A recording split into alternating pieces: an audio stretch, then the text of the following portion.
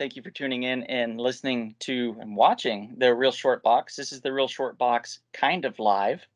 Uh, I'm Donald, and uh, today we have, of course, uh, Mr. Kevin's here, and uh, we have uh, a couple guests. We have uh, guest Julio Galvez from We Can Be Heroes Comics in Chatsworth, California. Thanks for joining, Julio. Yo. Always. Nice to see you. guys. and we have Alex Banchitta from uh, Scout Comics uh, Headless series. Uh, also, Hi. other things you've been working on. So thanks for joining us, Alex. Thank you for having me. I'm super excited. Super fun. Yeah. Most of us are in these imaginary realms behind us, which is great. Uh, Kevin looks like he's in the most trouble, though. He's going to get his head lopped off. Eh, It's Uh-oh. okay. It could, anything it could be worse, you know. It could be Absolutely. worse. It could always Especially be worse. That's it like one of my favorite drawings in that issue, actually. So Oh wow, that's awesome. Robert I- just I- crushed it, and then like you picked one of my favorite pages in that issue. So awesome. Thank I love man. the art. I love the Yeah. art. He's the best. He's the best. Yeah, we were talking about it's it's Robert uh, Amand. Ahmad, yeah, that's how I pronounce it. You know, I've, Okay. I, I, it's funny because I've, I've worked with Robert for a long time, but I've never actually talked to him on the phone. Uh, we've only communicated through email, so I have no idea how to pronounce his name. Oh wow, that that's fascinating. Have you ever like had the desire? Are you like you? Here's my number in case you want to call, and he's like, no, I'm good. I, I, I, I don't think I've ever put it out there. I don't know, but he's more than welcome. Um, yeah, no, I've worked with Robert for a long time. Um, he's like uh, he's like my co-pilot in my mind. I don't know if he feels that way about me, but I feel that way about him. So Yeah. Well, you both are co-creators of, of this book, Headless, correct? yeah, and then we also made captives before that. So um, All right. And, and Headless exists because of Robert. It's I'll, I'll get into that later, but like without Yeah, Robert, yeah. there would be no Headless. So Oh, there we go. Curious as to how you got into uh, writing comics in general. Uh, uh, are we are we are we starting officially now? Did we miss Yeah. anybody in introductions? yeah. I, I hope nobody wasn't introduced. Everybody was introduced. Oh yeah, Yeah, yeah, yeah, yeah. we're, we're, we're good Oh, I- to go, man. Okay, I just want to make sure. I, I just don't want to miss anything. Yeah. Um, Yeah, there's I mean- no uh, no other people here. okay. I mean, we can reintroduce you as Alex Banchitta, the man from New York, the man who currently resides in the great city of Miami, Florida, who's Love wearing it. a cool, you know, Hawaiian T-shirt. I mean, sorry, No, this button-down is like shirt. a weird Miami shirt. shirt. It's like there's like a Weird Miami shirt. I that's see a brand. Miami shirt. Yeah.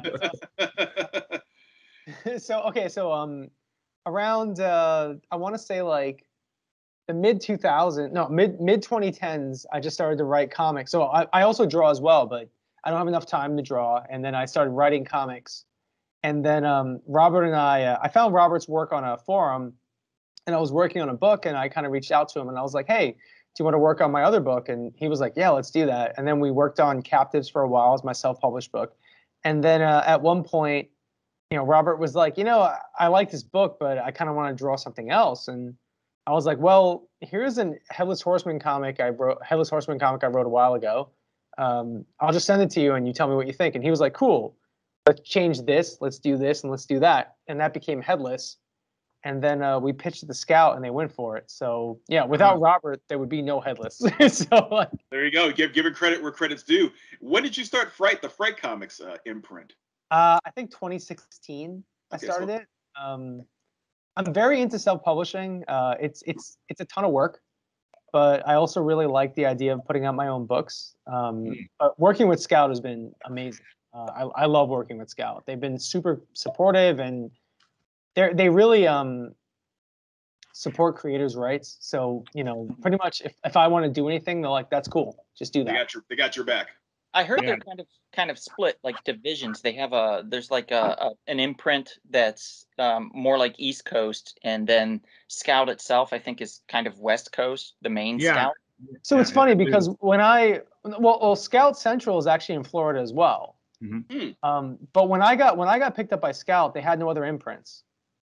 Hmm. And then the imprints came in once Headless Volume One, Issue One came out.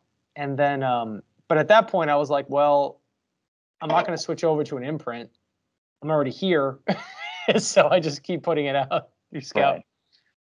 Yeah, nothing wrong with that. I mean, No, they're yeah, great. As long they're as they everybody- keep you, you know, just keep writing it. No, it's great, uh, and everybody at Scout is like super cool, and I, I feel like Scout to me is the next Dark Horse, if that makes sense. Yeah. Yeah. I can see that. Like like pre like I, I feel like Dark Horse is at a point where they're they're very successful and they're a great comic book company, but they're at a point where they have too much success, and I think as a result of that, they're not willing to take risks. Right. Where scouts want to take those risks. Well, oh, for example, like when I pitched Headless, it was like, oh, here here's a, a Headless Horseman book that's in the '80s, and it's blue and pink only. Like I, I, I just felt like all the companies I pitched that to, they were like, no, that's weird. And Scout was like, no, that's cool. Let's let's go for that. And Yeah. you know, it worked out. Um, so I just feel like Scout is at that like pre like pre big Dark Horse phase. So I really love working. there. It's great. That's They're- good. So creative freedom. It's beautiful. Right. Is They're it- eager to find uh, individuals that uh, that you know they, they can cultivate and work with over time. No, Did it's you great. With, uh, Char, Char, I think his name is uh, Charlie Stickney. Oh, he's the man. Yeah, Charlie Stickney. Yeah. Yeah, he's actually Yeah, a co-publisher now at Scout. He did Yeah. Red, uh, White Ash. Yeah. Yeah, White Ash. He was just in here a couple weeks ago. Very nice guy. I, I went to uh, this little thing called Comic Book Sunday that uh, B. Earl, the writer of um, the, the new Ghost Rider, Vengeance of Ghost Rider, he writes, Nice. and he invited him, and I talked to him there. Very nice guy. Super cool. Um, and he was telling me about how, how how he reads comics every single day, and he's always looking for new talent. And uh, he's just just a great kickback guy. We're we're actually going to do a, a few things with the. We want to grow our children's section, so there's a lot of uh, kid book writers. So funny, funny coincidence. Um, so the book White Ash, uh, Mhm. the artist on that book, um, I went to school with him, Oh, but I didn't know that. so I was at uh, New York City Comic Con, and I was doing a signing for uh, Headless, and the artist, uh, I know his first name is Connor. I always forget his second, his last name. Um, he looked at me. He's like, "Hey man, I know you from somewhere." I'm like, "Where do you know me from?" He's like, "Did you used to have really long hair? Like my hair used to be really long." And I'm like, "Yeah." He's like, "Are you this, this, and this?" I'm like, "Yeah, that's me." He's like, "Dude, we used to hang out." like, and so, wow. wow. What That school did you guys go to? uh, school visual arts. Oh yes.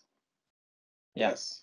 So it was it was such a crazy moment. I mean, granted, it's SVA, it's one of the biggest cartooning departments in New York City, but like still, it was like one of these crazy moments where I was like, I don't recognize you because he used to look a little bit different, obviously, in the past, but like it was such a wild moment. And then I found out Charlie writes that book, and now Charlie is one of the co-publishers at Scout. Wow. Yeah. But when I started working at Scout, um, he wasn't there yet.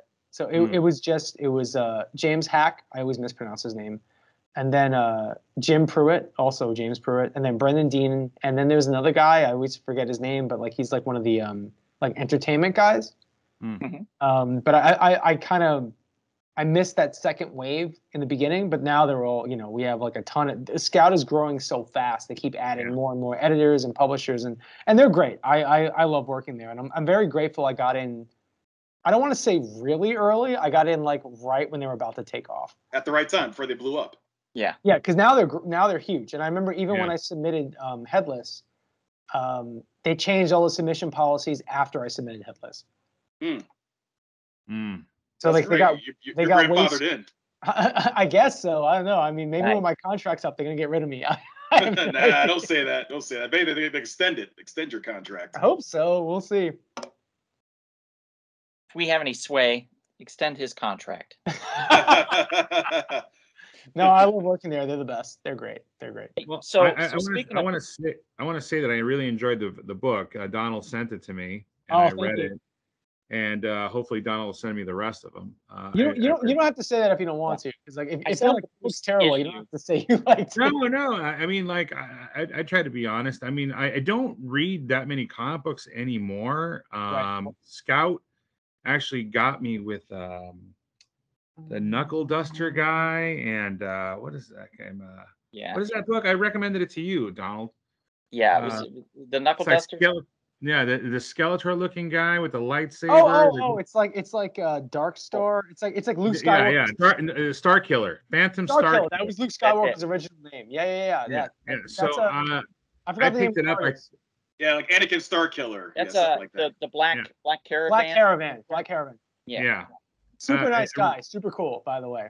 Super Oh, okay. I, I, I I really forgot the name enjoyed that book, page. so I was really eager to pick up uh, something else to uh, to read by them. Um, I'm glad. I'm And I- glad you liked it. Um, yeah, I liked it. And the thing about it that really got me interested is, is my my kid. He's like, uh, telling me all the time. He's like, "On on my costume, I want it to be the headless horseman," and I'm like, "Oh, really? The headless horseman, really?" And he was bringing that up for the last couple weeks, and then I pick up this book and I'm like reading There it. it. Obviously, I don't know what it's about, and I'm thinking, "Oh, I'm gonna find this headless body, and it's gonna be about that or something, right?" And then, oh, it turns out to be the headless horseman. So I texted him this morning. I'm like, "Yo, you got to read this. You're gonna love it."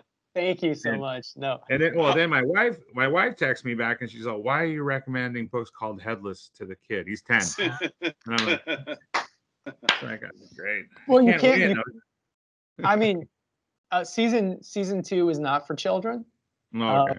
So I mean, I mean it. It's R, right? Like if you look at it, it's okay with you. But um, yeah, I mean it's it's it's it's some rough I mean- stuff in there. I read I read all four issues myself. There's so there's not really you you you don't see any blood. You know what I mean? Like season you- two.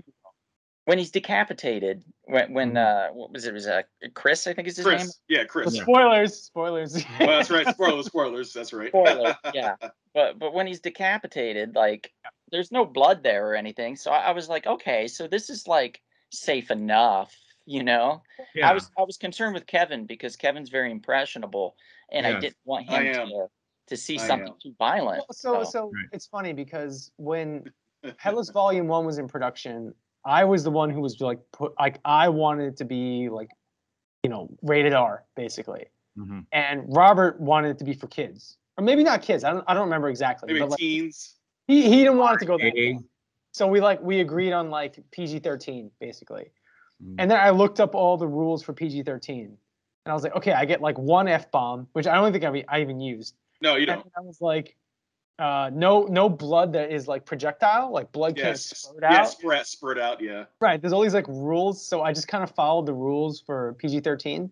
Um, but what was funny was uh, when I started, I started doing signings for Headless, and I found the vast, vast majority of the people who were coming to my signings were like adult, adults basically. So I was Mm. like, well, if this is a demographic, do we have to keep writing for people who are under the age of 18? You know, and then Robert was like, you know what, it's cool. Let's just let's just roll with it. So in in season two, like there's, I don't want to say it's like overly violent, but like if I feel it like level. Yeah, I'm like, I, I, my my feeling is this. I'm like, if I feel like having somebody's head get chopped off and there's blood, we're gonna do that. If I feel like mm-hmm. somebody's clothes are gonna fall off, they're gonna fall off. If I feel like dropping an f bomb, I'm gonna drop an f bomb. But it's like I'm not going out of my way. It's just like the freedom Right. is there. Right. Right. Because I felt like Vertigo for a long time. They tried too hard to push that. You're Like we have to drop an f bomb in every panel, you know, because we can. It's just like it's just like if it's there, I'm gonna use it, you know, when I can. Right, right. Yeah, because the way volume one, I guess, as you're talking about a volume two, the way that issue four ends, you know, definitely an opening for more, obviously. Oh yeah, oh yeah, no, absolutely. I feel like I feel like Volume Two goes in the direction that I want to take the series. Hmm. Um, it's only three issues, but like it, it kind of opens the door where I want the series to go. Okay. Okay. That makes Now, sense. uh, volume two. Did the first issue come out already? No, no. Um, so what's funny is is this is the weirdest thing about working in uh, comics when you're not the big two or like the big indie publishers is that Diamond has a tendency to put in like shipping dates that aren't correct. Mm. That makes sense. They're like Yeah. the book's gonna ship out on this sense. day, and I'm Julio, like, you're you're a proprietor, so you understand. Oh yeah. so. Julio knows what I'm talking about. Yeah, it's it's like Right. I didn't know this until I started working there. I'm like, why are they putting this date? It's like, well, that's what Diamond does, and I'm like, but the book's not gonna come out on that date. like, but that's what they want to put out there. That, So that what they say? What, perfect what day is it? What day is it? October quote, unquote, October supposed to come? sixth is the date. That was like a week ago, so Oh, there's no way it's coming out then.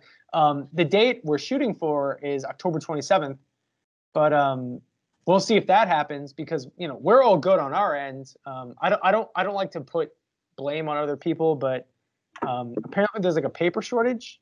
Oh yeah, with everything going on right now with the pandemic, there's shortages everywhere on everything. I had I had no idea, so I It's was not like, because of the pandemic. It's because of everything stuck in the supply ports. chains. Well, supply chains, yeah, that they're I, I don't at know what the issue is, but I just found out about it recently. So I was like, oh well, you know, hopefully it comes out on Halloween. Like, it's Yeah. nothing I can Trees are on strike.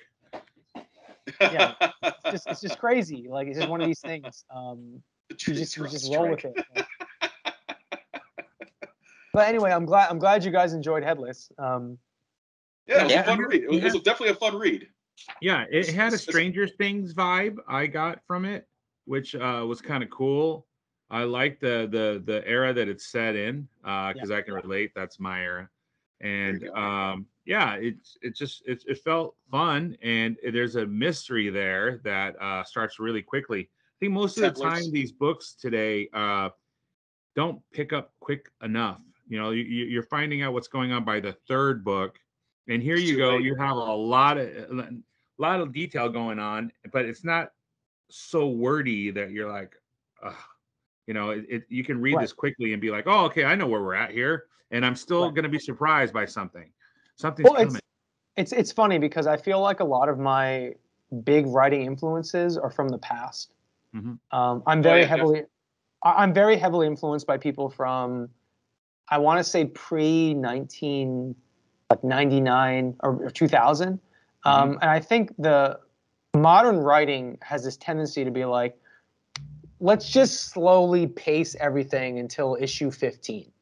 Right. Um, and I feel like I kind of come from a writing tradition. I don't want to say I come from, but I'm inspired by a writing tradition of like, we need to say X, we need to say Y, we need to say Z, and we need to do it quickly.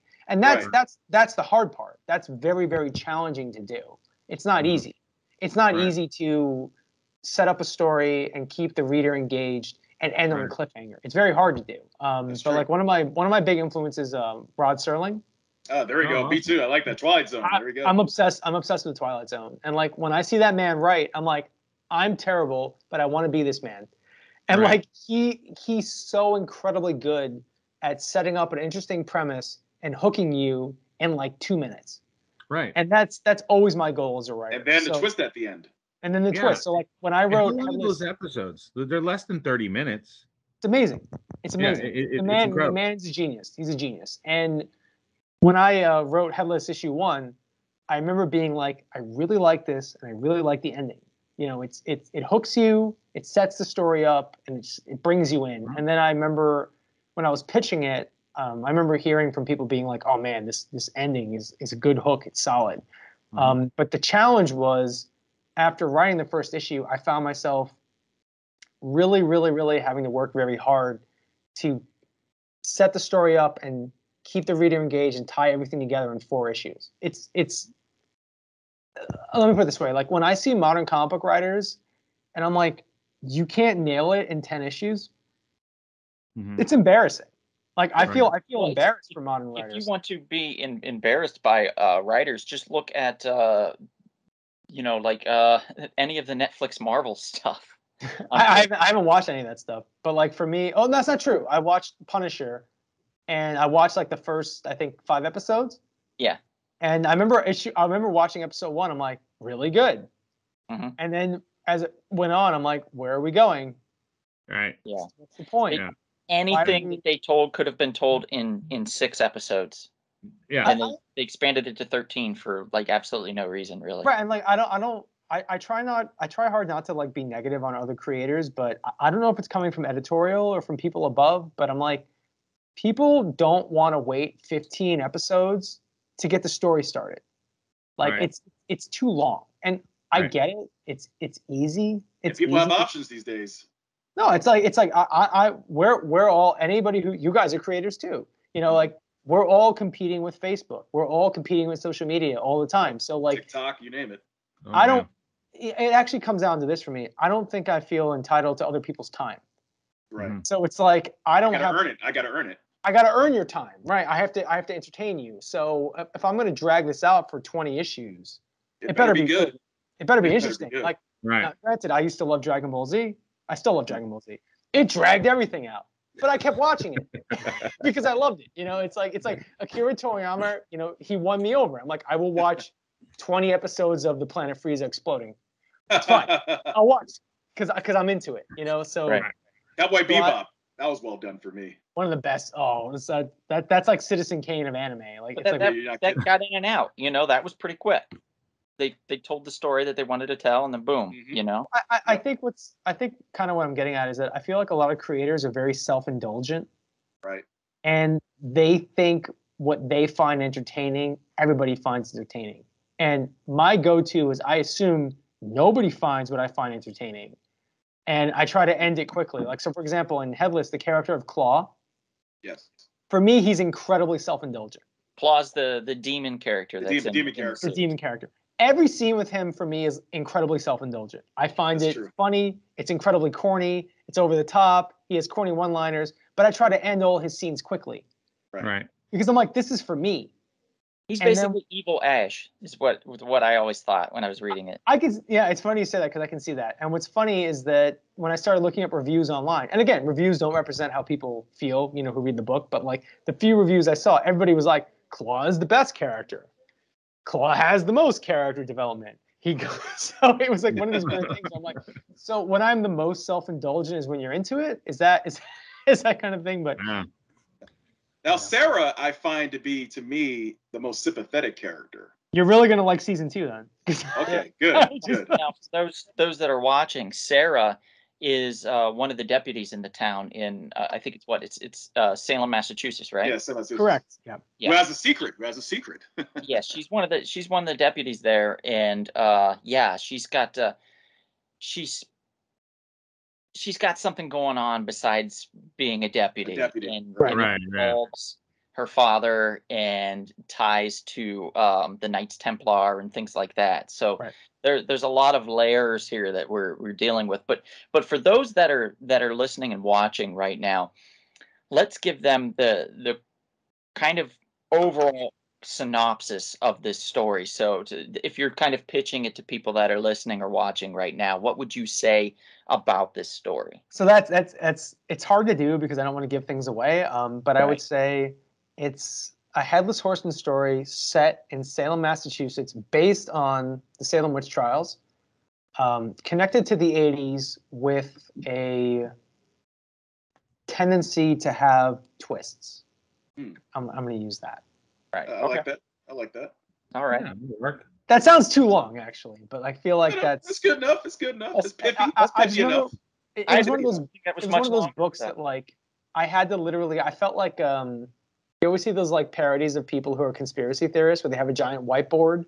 Yeah. That's that's what it was like when I wrote Headless Volume One. It was like thing X leads to thing Y, like because there's so many things that are connected and layered into everything else. So like I literally had pages of notes where I would have to be like, okay, did I address thing X? Did I address thing Y? Did I touch on thing Z? Because there's so many layers of what's going on. And then also there's this thing going on in the story where it's like you don't want to focus on certain things for too long because it holds the story up and you want to keep the reader engaged. So like it, it, sounds it sounds borderline neurotic, but like it's there's so much going on that like it was a very intensive book to write for me. Same thing with season two, but season one especially like there's so many things going on. There's so many characters. There's so many elements to the story that it, there was so much side work that was going on, and also it's also based on um, like things that happened during the Salem witch trials.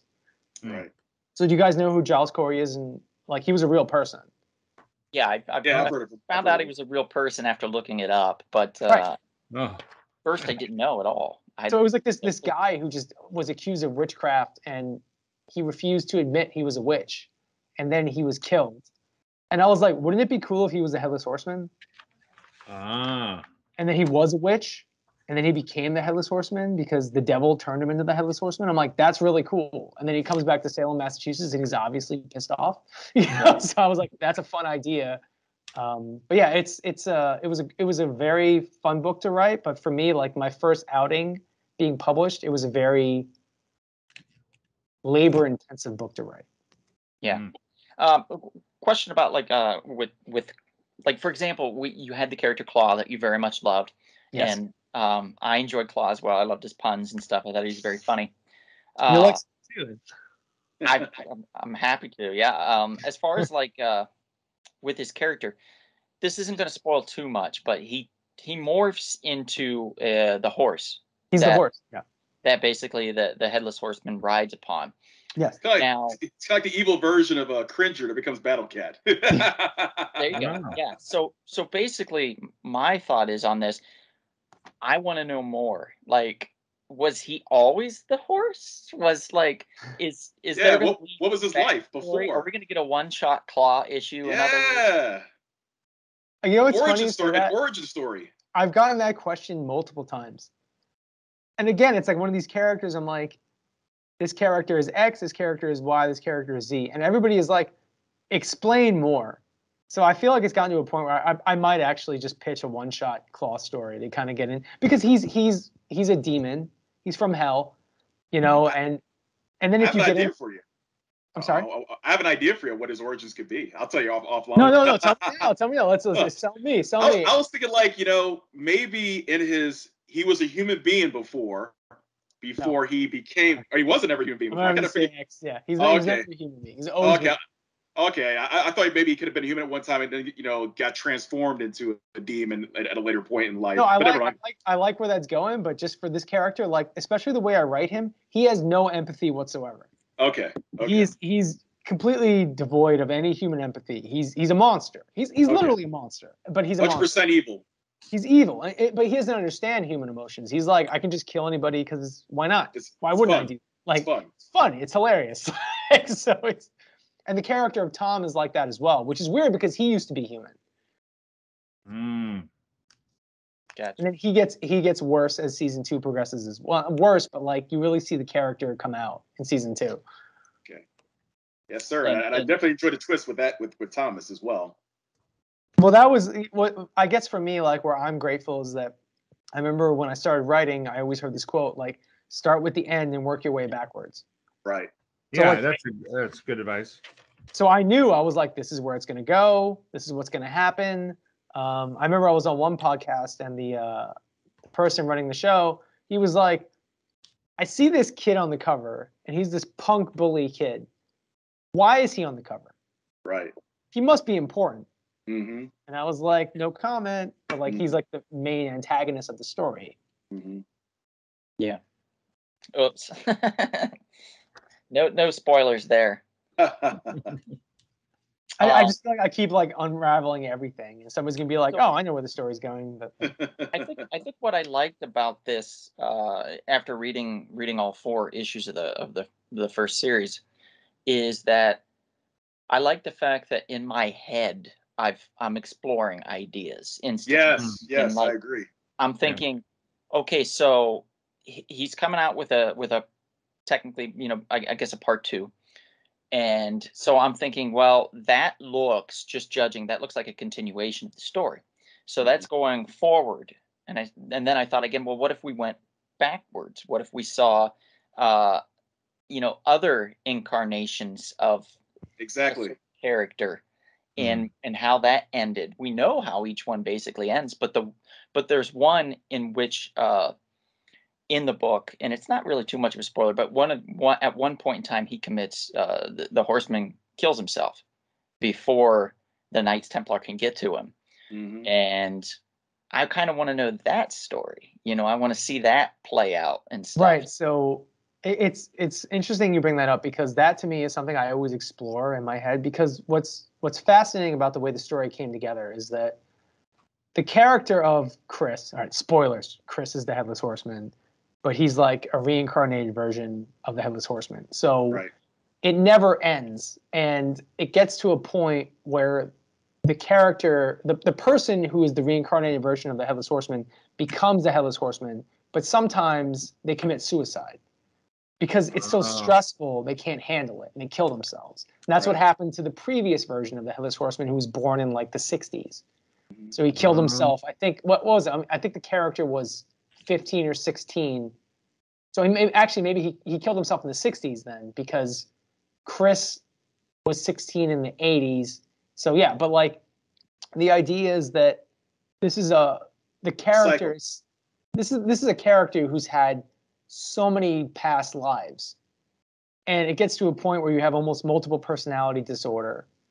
Um, and that's an interesting thing to write as a writer because the current ver- the current version of the headless horseman is somebody spoiler who manages to survive the whole thing As, as being the Hmm. vessel, as being the vessel for the Yeah. headless horseman. right he's he's he's the headless horseman but he somehow managed to not turn into him through various circumstances so now he has to deal with the reality of your old memories are going to come back your old personalities are going to come back all these horror. He's literally been to hell, so it affects him as a person, and he's just a kid.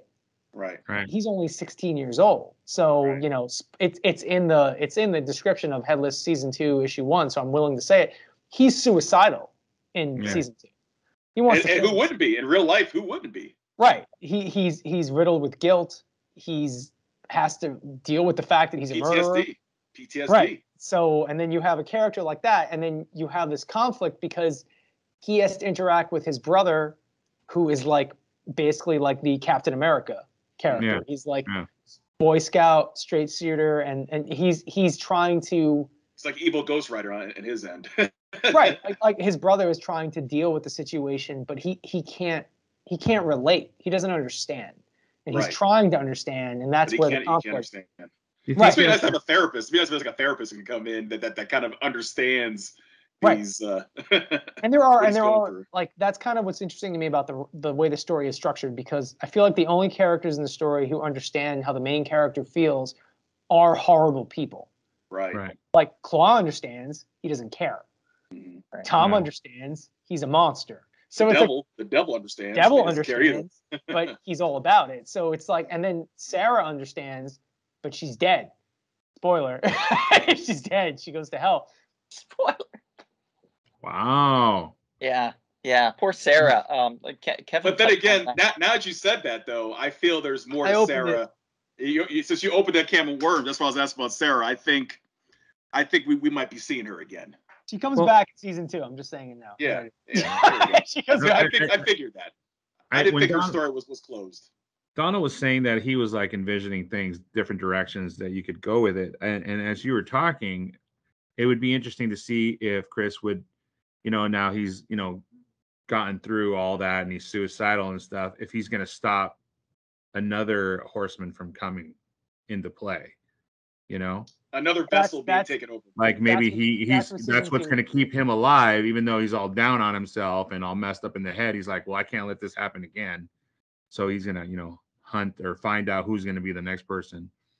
Right, yeah, that's right. going to become the next horseman. Well, the, Yeah. w- the way the way their story works is that that he's if he dies, then he will be reincarnated Oh, as the I next see. horseman.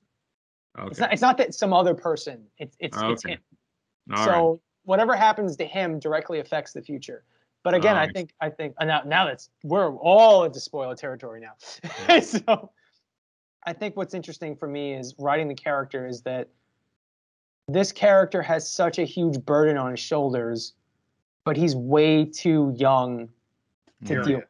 To carry it, yeah. Right. and it's it's too hard to carry and he's going to make mistakes and he's going to do things he shouldn't do and he's and it, as a result which is i think hard to write for me even at times is he's going to make mistakes that directly hurt other people that he's not aware of at the time you know In this Which- case, in this case, with extreme power comes extreme responsibility. that right can't- but but it's it's kind of one of these things where it's like you're born into a situation that you never wanted to be born into and you find out it's it's oh it all actually it almost links into the the concept of original sin Right.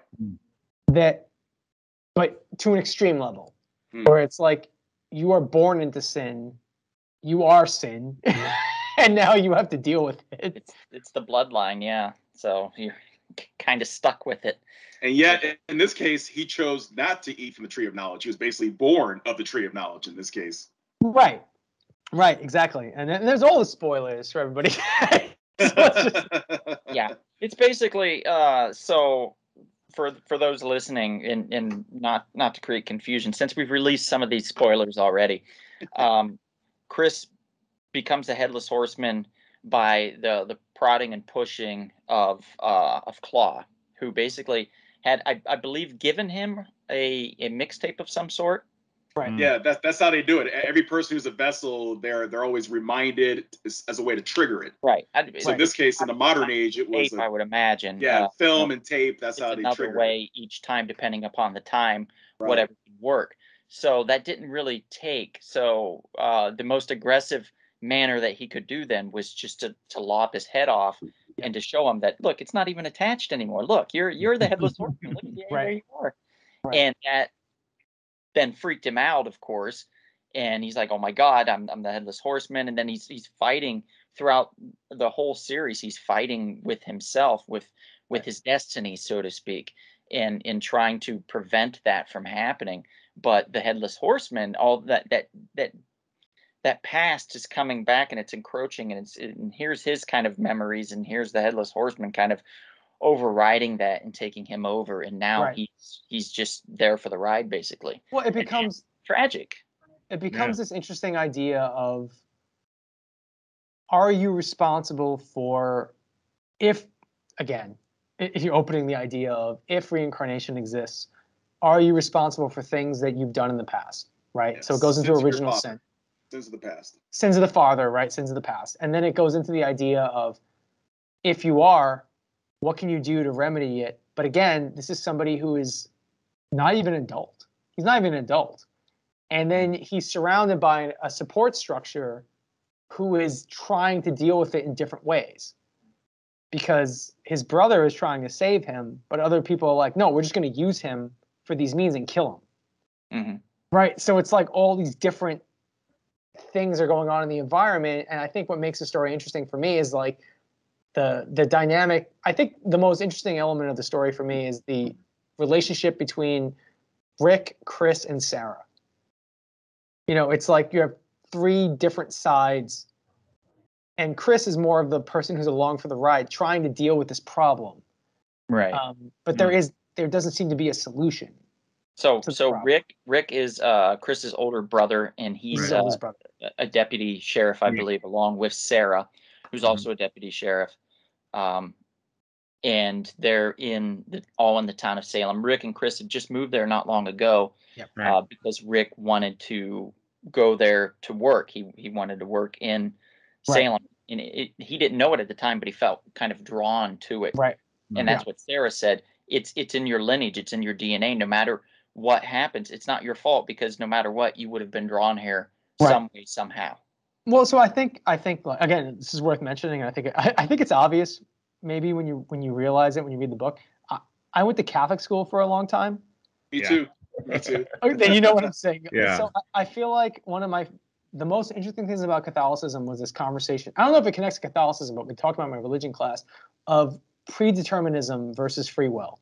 Right. Mm. And I think this book really touches on that concept that you are predetermined to do a certain thing. But can you change that pattern? And it gets into free, Modify it. Alter the path. right. And that I think that's what the that's a lot of what is Hmm. floating on the tier and the edges of the book, which is something that I It's find cool. very interesting. It's cool. You know, the Matrix movies obviously discuss things of that Right. nature. It's always good to have that kind of thought process because in life, we do ask ourselves, am I just predetermined to be whatever I am in life? Am, am I just inevitably stuck in this Right. position or do I have the ability to alter my path? and I feel Yeah, like it's it's it's things like that to me that give the book. Um, I, I like to when I'm when I'm writing, I call it meat, but uh, I I would call it heart, right? Like there's there's something there about the book that gives it a a human element, you know, something that kind of relates to people and connects with the human condition. Mm. Um, and then tying into what I was saying earlier, and that's how I feel about Rod Serling's work on the Twilight Zone. You know, it's like there's Sure. something about yes, that's a cool hook. Yes, that's a cool story, but there's some human element to this that is kind of at the heart of the story. You know, and uh, and, and Rod Serling had like a crazy life. Uh, the guy was in World War II. World War II, he right, saw a lot. That's right. Right. I mean, I, I have none of that. like I'm this like, you know, in, in from his perspective, like I'm this like privileged, spoiled, peacetime guy. So it's I can't relate to the same things he's talking about on that level, but I feel like the more I get into his stuff and other kind of creators from the past, because I'm very obsessed with creators from the 50s and the 40s and the 30s, because I feel like they've been through some stuff that Yeah. I can't relate to and H.P. Lovecraft, you know? I love H.P. Lovecraft. Yeah, Edgar Allan Poe. Um, I feel like when I read enough Poe, I start to lose my mind, which is good. Um, because he, he will drive you. I feel like if you read enough Poe, you will you will go insane. Like there's something about the guy like that will just drive. I know H.P. Lovecraft is in the idea of like people driving you mad, but I feel like Edgar Allan Poe drives you mad. If you read like if I remember reading um the famous one where like the heart Raven? Not not the Raven. Telltale Heart.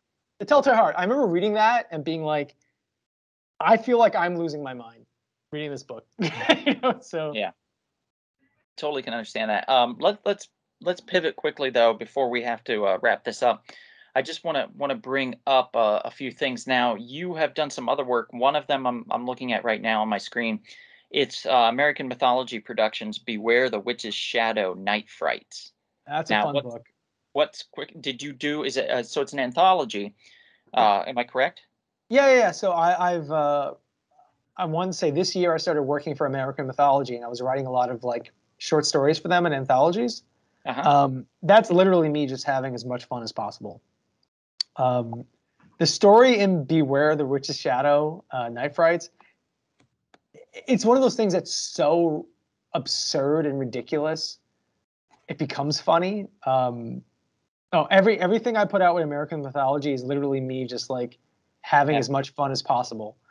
It seems Um, that way because you also have uh, Victor Crowley's Hatchet Halloween Tales 3. Looks like you've So- worked on that also. So much fun. Yeah, I worked on that, and then I also worked on a Scary Christmas too. Um, Uh-huh. And what's cool about that book is I actually got my story got the cover, which is really exciting.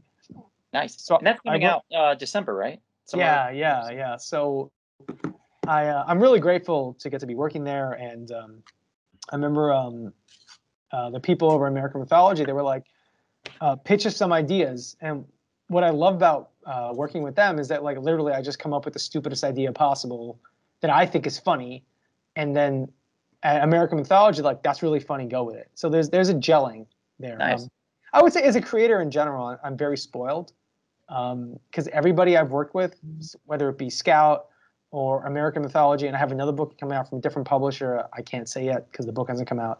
Um, it's always been like just just do you and just have fun and do the thing you want to do. Um, That's and That's And it's a incredible. beautiful thing. It's a blessing. It's a beautiful it's thing. amazing, and and I feel like if I've ever been, if I ever get offered work at like, you know, the big two or something like that, I almost question if it's going to work out because I'm I'm so accustomed to having very minimal editorial. Uh, Oversight. not Yeah. not a lot of oversight and i just i feel like one day if i'm working on you know let's say one day i'm somehow working on batman or something like that Right. I, I just feel like it wouldn't work out i, I just feel Right. like i would write something Unless it's a one shot, they might give you a little freedom, like a, like a Maybe. weird one shot. Maybe, yeah, but it, it- you know, we're talking, we're talking control freak Warner Brothers here, so yeah, I yeah. don't- I I don't know. Black. I don't. DC Black Label, Elseworld story. I don't know. I don't know. I, I mean, I've had I've, I've had friends that uh, all they've ever dreamt about was to go work at the big two and got there and were completely unhappy. yeah, i don't I, I I came into comics actually from manga Oh, So- okay. oh, I was okay, beautiful. i'm sorry